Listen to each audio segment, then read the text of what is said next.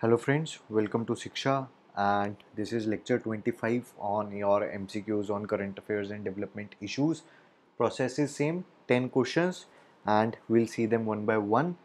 Flat 60% is going on on your UPFO exam products, basically non-video MCQ courses. Combo course social security gap industrial relation and labour law all are available description में website का link है वहाँ जाकर आप explore कर सकते हैं। अगर आप सिर्फ़ वीडियोस की पीडीएफ में इंटरेस्टेड हैं तो उसके लिए भी पीडीएफ लिंक है और वहाँ पर भी you just have to pay ninety nine rupees and will get all the P D F files okay so let us start guys and support के लिए आप गिवन uh, इन्फॉर्मेशन के ऊपर कॉन्टैक्ट कर सकते हैं। Okay, so the first question is where is the world's largest cricket stadium? Narendra Modi cricket stadium located दुनिया का सबसे बड़ा cricket stadium Narendra Modi cricket stadium कहाँ पर लोकेटेड है? Option A Bombay option B new Delhi option C Vadodara और option D Ahmedabad बहुत basic और बहुत सिंपल क्वेश्चन है फैक्चुअल क्वेश्चन है इधर और नीदर वाली सिचुएशन बनती है and the answer is option D Ahmedabad okay Ahmedabad के अंदर आपका Narendra Modi cricket stadium located है. चलिए second question community forest resource rights से रिलेटेड आपको कुछ स्टेटमेंट्स गिवन है। सबसे पहला स्टेटमेंट है कि ये जो राइट्स हैं, जो कम्युनिटी फॉरेस्ट रिसोर्स राइट्स हैं, ये नेशनल फॉरेस्ट पॉलिसी 1988 के अंडर प्रोवाइडेड है। दूसरा स्टेटमेंट कहता है कि ये राइट्स सिर्फ़ तब क्लेम किए जा सकते हैं या सिर्फ़ उन फॉरेस्ट्स के ऊपर क्लेम किए जा सकते हैं, जो प्रोटेक्टेड एरिया के अंडर नहीं आते, जैसे आपके national park wild life sanctuaries वगैरह। थर्ड स्टेटमेंट कहता है कि ग्राम सभा जो है, उसको उसके ऊपर रिस्पॉन्सिबिलिटी है कि वो फॉरेस्ट राइट्स को डिटरमिन करे, ठीक है? यानी कि जो भी फॉरेस्ट ड्वेलिंग शेड्यूल ट्राइब्स हैं, उनके क्या फॉरेस्ट राइट्स होंगे या डिफाइन करने में कि कौन से ट्राइब या कौन से पर्सन के पास ये राइट्स जाएँगे, वो सारा जो काम है, वो आपके ग्राम सभा करेगी। आपको बताना है कौन सा स्टेटमेंट करेक्ट है। पहला और दूसरा दूसरा और तीसरा तीसरा सिर्फ़ या फिर तीनों। ठीक है तो आंसर यहाँ पर अपना हो जाएगा ऑप्शन सी थर्ड ओनली सिर्फ़ थर्ड स्टेटमेंट करेक्ट है। पहला स्टेटमेंट गलत है, क्योंकि नेशनल फॉरेस्ट पॉलिसी अलग है ये। एक्ट अपना 2005 वाला एक, जिसके अंडर ये कम्युनिटी फॉरेस्ट राइट्स प्रोवाइड किए जाते हैं। सिंपल था, पहला स्टेटमेंट गलत इजीली पता चल जाता, कोई भी पढ़ने वाला बच्चा है तो। तो इसीलिए ए और डी तो मेरा बड़ी आसानी से एलिमिनेट हो रहा था। दूसरा ऑप्शन भी ये कह रहा है कि भैया सिर्फ़ उन एरियाज़ या उन फॉरेस्ट में राइट्स मिलेंगे जो प्रोटेक्टेड नहीं है। तो अल्टीमेटली इंडिया में तो बहुत सारा फॉरेस्ट एरिया ऐसा है जो प्रोटेक्टेड है। तो डेफिनेटली फिर तो फॉरेस्ट राइट्स देने का कोई फ़ायदा ही नहीं हुआ। अगर मैं थोड़ा सा भी दिमाग लगाता तो मैं सेकेंड स्टेटमेंट को भी ईजिली एलिमिनेट कर देता। ठीक है फिर भी इसको एक बार देख लेते हैं। So basically community forest resource rights Adivasis और ट्रेडिशनल फॉरेस्ट ड्वेलर कम्युनिटीज़ को दिए जाते हैं ठीक है?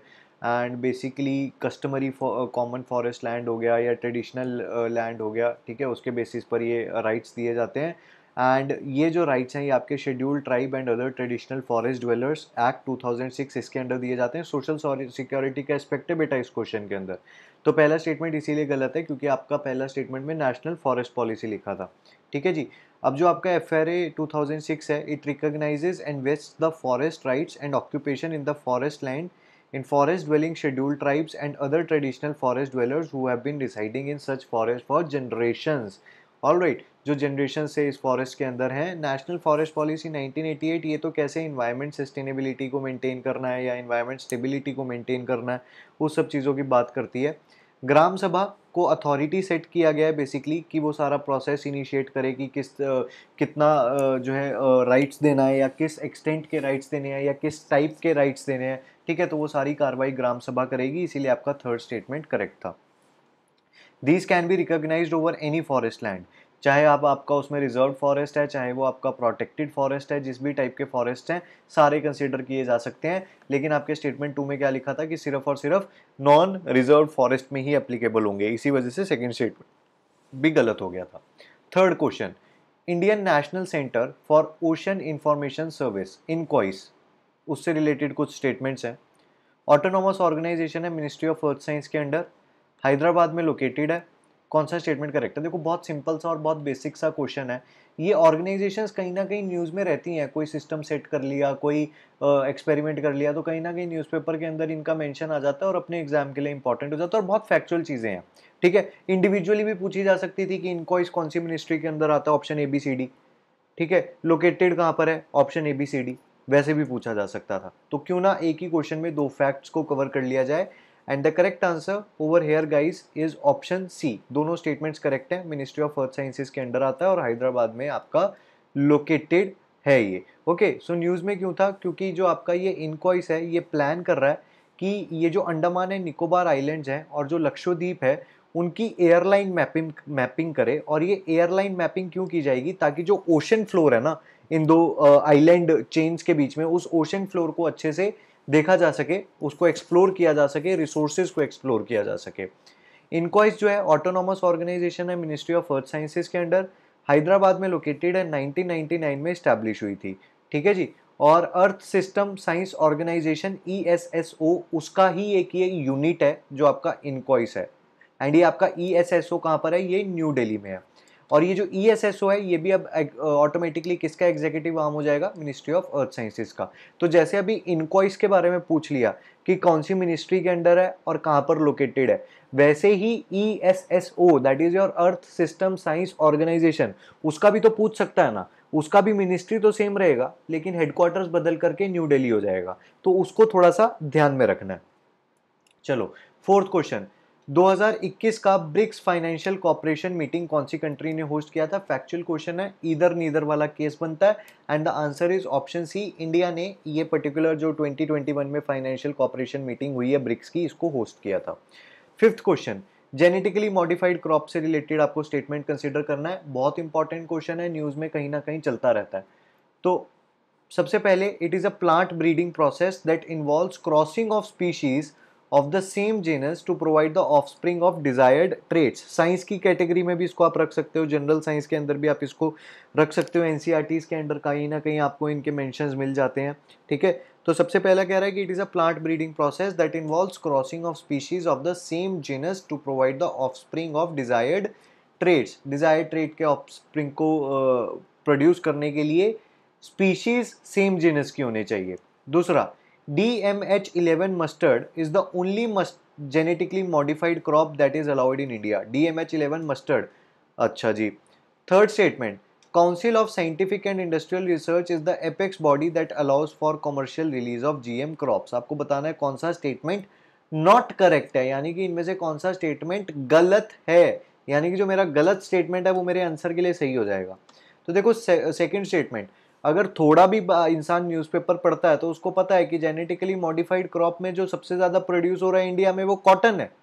ठीक है मस्टर्ड में तो अभी तक अपन ने अप्लाई अलाउ ही नहीं किया है। तो cotton is the correct answer कि कॉटन होता फिर भी मैं यहाँ पर थोड़ा सा कंसिडर करता। लेकिन दूसरा स्टेटमेंट तो कंप्लीटली मेरा इनकरेक्ट है और मेरे से इनकरेक्ट ही पूछा है। तो डेफिनेटली मेरा ऑप्शन डी एलिमिनेट हो गया। ठीक है ऑप्शन डी मेरा एलिमिनेट हो जाता है। अब पहला स्टेटमेंट और थर्ड स्टेटमेंट के ऊपर डिपेंड करता है कि मेरा आंसर मुझे आता है या नहीं आता है। ठीक है? तो आंसर यहाँ पर है मेरा ऑप्शन सी पहला स्टेटमेंट देखो, ये सही है प्लांट ब्रीडिंग प्रोसेस में आप दो स्पीशीज को क्रॉस ब्रीड कराते हो जेनस सेम होना चाहिए, ठीक है? और डिजायर्ड ट्रेड्स आपको मिल जाएँगे। तो पहला स्टेटमेंट तो बिल्कुल सही है। थर्ड स्टेटमेंट आपका सही नहीं है, क्योंकि सी एस आई आर इसका एपेक्स बॉडी नहीं है। चलो एक बार एक्सप्लेनेशन देख लेते हैं। तो सबसे पहले तो न्यूज़ में क्यों था? क्योंकि जो आपका एफ़ है that is your food safety and standard authority of India इसने एक रिसेंटली ऑर्डर निकाला। जिसके अंदर इन्होंने क्या बोला कि एक परसेंट जो है थ्रेसोल्ड लिमिट हम सेट करते हैं कि आप एक परसेंट जी क्रॉप्स को इंडिया में प्रोड्यूस कर सकते हो। एक परसेंट जेनेटिकली मॉडिफाइड ऑर्गेनिजम्स को इंडियन फ़ूड क्रॉप्स में इंपोर्ट कर सकते हो, ठीक है? उससे ज़्यादा नहीं, एक परसेंट का लिमिट लगा दिया। Now genetic modification of crops basically क्या है? कन्वेंशनल प्लांट ब्रीडिंग है। दो स्पीशीज को ब्रीड करा रहे हो सेम जेनेस के होने चाहिए। Offspring with desired trait आ जाएगा। विकी डोनर वाला कंसेप्ट ठीक है? Genus is a class of items such as group of animals or plants with similar traits, qualities or features. तो जेनस बेसिकली क्या होता है? ग्रुप ऑफ़ एनिमल्स या प्लांट्स जिनके अंदर सिमिलर ट्रेट्स हों सिमिलर क्वालिटीज हों और सिमिलर फीचर्स हों। BT cotton only GM crop है जो अलाउड है इंडिया में एंड नॉट योर मस्टर्ड तो वो इसीलिए सेकंड स्टेटमेंट तो पूरा सिरे से गलत हो गया था। ठीक है? और इसके अंदर बेसिकली हमने सॉइल बैक्टीरियम बेसिलियस थ्योरेंजिसनेस का थ्योरेंजाइनेसिस का इंट्रोडक्शन किया हुआ है बेसिकली तो बेसिकली ये एक क्रॉप के अंदर प्रोटीन टॉक्सिक प्रोड्यूस करता है, जो इसको पेस्ट पिंक बॉलवॉर्म से प्रोटेक्ट करता है कॉटन को। ठीक है? इंडिया के अंदर ये जीएम क्रॉप्स वगैरह को अप्रूव कौन करता है? उसके लिए अपनी एक बॉडी है, जिसका नाम है जेनेटिक इंजीनियरिंग अप्रेजल कमिटी ये एपेक्स बॉडी है, जो अलाउ या डिसअलाउ करती है कॉमर्शियल रिलीज़ जीएम क्रॉप्स का। ठीक है? सिक्स क्वेश्चन पर आ जाओ। With reference to Saras Aajeevika Mela social security की एस्पेक्ट है स्टेटमेंट्स कंसीडर करनी है आपको और ये आपके सामने स्टेटमेंट्स है। इसको रीड कीजिए, तब तक हम पानी पीते हैं।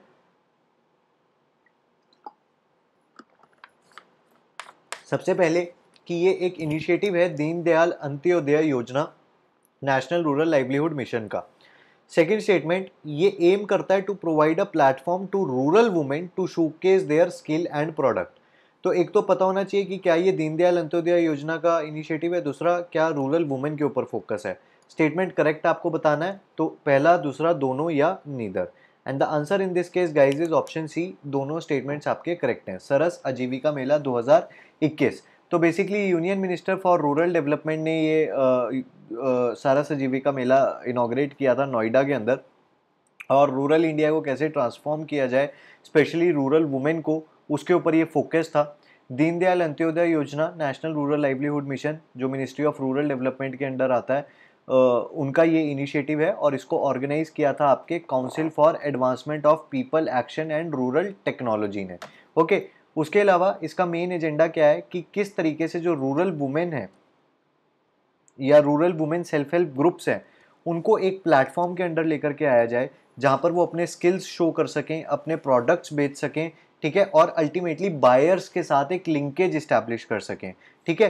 Through participation in Saras Aajeevika Mela these rural S H G womens will get vital national level exposure और इससे इनको आइडिया लगेगा कि देश में किस तरह की डिमांड है कस्टमर्स के टेस्ट एंड प्रेफरेंसेस का पता चलेगा। उस हिसाब से ये अपनी प्रोडक्शन को इम्प्रूव कर सकेंगे। ठीक है जी? चलिए seventh question seventh question is related to Mannathu Padmanabhan मना मनाथू पद्मनंबन से रिलेटेड स्टेटमेंट आपको कंसिडर करना है। पहला स्टेटमेंट 1924 में इन्होंने वाइकॉम सत्याग्रह में पार्टिसिपेट किया और साथ ही साथ इन्होंने Savarna Jatha which was an anti untouchability agitation उसको लीड किया। इनको भारत केसरी अवार्ड मिला है टाइटल मिला है basically by the president of India इनमें से कौन सा स्टेटमेंट करेक्ट है? ठीक है? फ्रीडम मूवमेंट और नेशनल स्ट्रगल वाला सारा पार्ट आ जाएगा। आंसर विल बी सी दोनों स्टेटमेंट आपके करेक्ट हैं। ठीक है? सो so, अगर हम मानाथू पद्मनाभन के बारे में देखते हैं सोशल रिफॉर्मर थे फ्रीडम फाइटर थे केरला से बिलोंग करते थे very important and basically society में जो डाउन वर्ड कम्युनिटीज़ थी उनका स्टेटस रेज करने की यहाँ पर बहुत ज़्यादा कोशिश इन्होंने की। ओके okay, महात्मा गांधी के प्रिंसिपल्स को काफ़ी ज़्यादा फॉलो करते थे। पद्म भूषण अवार्ड भी मिला इनको 1966 में। नायर सर्विस सोसाइटी, इन्होंने फाउंडेशन उसकी की, जिसका हेडक्वार्टर्स जो है that was in Perunna okay and 1914 के अंदर, Nair Bhritya Janasangham was formed basically ये सोशल रिफॉर्मेशन नायर कम्युनिटी में लाने के लिए एक स्टेप था. 1925 में नायर सर्विस सोसाइटी को इंडियन कंपनीज़ एक्ट के अंदर रजिस्टर किया गया. He also became a member of Indian national congress 1947 के अंदर. और ट्रेविनकॉर स्टेट कांग्रेस एजुटेशन में भी इन्होंने पार्टिसिपेट किया था। ठीक है? एट्थ क्वेश्चन पर आ जाएँ।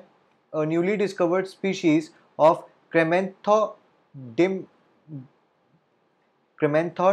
dim indicum is placed under which of the following? The pronunciation of these words is so difficult, मैं इनकी pronunciation चेक करके आता हूँ, फिर भी इनको पढ़ते हुए जीप टेढ़ी हो जाती है। ओके बट स्टिल हमें बस एक साउंड माइंड के अंदर रखना है। Pronunciation is not that important in this cases interview के अंदर कोई नहीं पूछने वाला। ठीक है? So I U C N red list category is place under which of the following I U C N red list category vulnerable near threatened endangered और critically endangered तो इसको क्रिटिकली एंडेंजर्ड के अंदर रखा गया है। Okay so this cremanthodium indicum basically is a new species of alpine plants Arunachal Pradesh के Tawang district में मिलता है ओके okay? और जो ये न्यू स्पीशीज़ है ये हिमालयन सनफ्लावर की फैमिली को बिलोंग करता है। ये जो पेंग टेंग सॉल एक तवांग डिस्ट्रिक्ट में है उस रीजन के एंडेमिक है। एंडेमिक का मतलब होता है कि सिर्फ़ वहीं पर मिलता ही है ओके और क्रिटिकली uh, एंडेंजर्ड इसको आईयूसीएन रेड लिस्ट में अब रखा गया है थ्रेटेंड से ओके सो ज़्यादा इंपॉर्टेंट क्वेश्चन नहीं है। चलिए next question Consider the following statements about responsible AI for youth program. AI is basically for artificial intelligence. Ministry of science and technology का इनिशिएटिव है और मिनिस्ट्री ऑफ़ एजुकेशन भी इसमें help कर रही है, ठीक है? स्टूडेंट्स तक रीच बढ़ाने की बात हो रही है, चाहे वो सेंट्रल या स्टेट रन गवर्नमेंट स्कूल्स हों, कौन सा स्टेटमेंट करेक्ट है, ठीक है? तो यहाँ पर आंसर हो जाएगा आपका ऑप्शन बी सिर्फ़ दूसरा स्टेटमेंट करेक्ट है। क्यों? क्योंकि जो पहला स्टेटमेंट है that will be wrong okay wrong क्यों है पहला स्टेटमेंट क्योंकि ये जो प्रोग्राम है, इसको ministry of electronics and IT ने लॉन्च किया है and in collaboration with Intel India with support from the ministry of education पहले मिनिस्ट्री ऑफ़ ह्यूमन रिसोर्स होता था मिनिस्ट्री ऑफ़ एजुकेशन हो गया। तो department of science and technology का तो नामो निशान नहीं है। Ministry of electronic and IT है इंटेल इंडिया है और आपका एजुकेशन मिनिस्ट्री है। ठीक है, इसी वजह से पहला स्टेटमेंट जो है वो गलत हो गया। ठीक है प्रोग्राम का मेनली एम क्या है कि कैसे जो स्टूडेंट्स हैं, जो गवर्नमेंट स्कूल्स के अंदर पढ़ रहे हैं, चाहे वो सेंट्रल गवर्नमेंट स्कूल्स हों या स्टेट गवर्नमेंट स्कूल्स हों, कैसे उन स्टूडेंट्स को एक अपॉर्चुनिटी दी जाए कि वो इंडिया के स्किल्ड वर्क फोर्स का पार्ट बन सकें एक इंक्लूसिव मैनर के अंदर। ठीक है? ये जो आपका इनिशिएटिव है, ये एट्थ टू ट्वेल्थ क्लास के बच्चों के लिए ओपन है ओके पूरी कंट्री में जो भी सेंट्रल या स्टेट गवर्नमेंट स्कूल्स के अंदर बच्चे पढ़ रहे हैं अल्टीमेटली इसका एजेंडा क्या है कि कैसे बच्चों के अंदर स्किल गैप को रिड्यूस किया जाए, ठीक है? साथ ही साथ, कैसे यूथ को इनक्रेज किया जाए कि वो इंपॉर्टेंट इनोवेशन से और टेक्नोलॉजी से किस तरीके से सोशल इम्पैक्ट देश के अंदर ला सकते हैं, ठीक है जी? चलिए लास्ट क्वेश्चन के ऊपर आ जाएँ। जी आई हैंडीक्राफ्ट आपको गिवन है एक साइड और दूसरी तरफ़ एसोसिएटेड स्टेट गिवन है। कहीं ना कहीं न्यूज़ के अंदर ये आता रहता है कि इस वाली स्टेट को इसके लिए जीआई मिला, उसके लिए जीआई मिला। तो इसीलिए यहाँ पर एक क्वेश्चन रखा गया है। आपको बताना है कि कौन सा करेक्टली मैच्ड है। So the correct answer here will be option C ठीक है? नॉट करेक्टली मैच्ड है सॉरी नॉट करेक्टली मैच्ड है, यानी कि ऑप्शन सी में आपका टू एंड फोर जो टू एंड फोर है दीज आर इनकरेक्टली मैच्ड तो Mithila art G I tagged handicraft है बिहार का, और Kangra painting G I tagged handicraft है हिमाचल का। तो ये तो इजीली समझ भी आ जाते हैं, मिथिला, बिहार और कांगड़ा। हिमाचल अगर किसी को थोड़ा बहुत भी लोकेशन का आइडिया है तो वो इजीली बोल सकता है, Mithila is in your Bihar and Kangra region is in your Himachal Pradesh, ठीक है? उसके अलावा जो आपका सोराई खोवर है पेंटिंग ये ट्रेडिशनल और रिचुअलिस्टिक म्यूरल आर्ट है, जो basically local tribal women practice करती हैं ओके एंड इसके अंदर नेचुरली अवेलेबल सॉइल्स और का इस्तेमाल किया जाता है एज कलर्स और ये आपका झारखंड के अंदर है, हज़ारीबाग डिस्ट्रिक्ट में। दूसरी तरफ़ जो आपका तेलिया रुमाल क्लोथ है, ये तेलंगाना से है। इसके अंदर हैंडमेड बेसिकली एम्ब्रॉयडरी वगैरह किया जाता है। उतनी डिटेल में आपको जाने की ज़रूरत नहीं है, बस ये तीन चार याद रख लो क्योंकि ये न्यूज़ के अंदर थे। मिथिला आर्ट है, बिहार से ये याद रख लो। तेलिया रुमाल है आपका तेलंगाना से, कांगड़ा पेंटिंग है, हिमाचल प्रदेश से और सोहराई जवाहर पेंटिंग है झारखंड से। इतना सफिशियंट है पेपर के लिए। ठीक है? चलो, इसके साथ we have come to the end of this particular lecture also guys and I hope you have enjoyed it okay keep studying hard keep working hard definitely you will achieve your goals I see you in the next lecture till then all the best and bye bye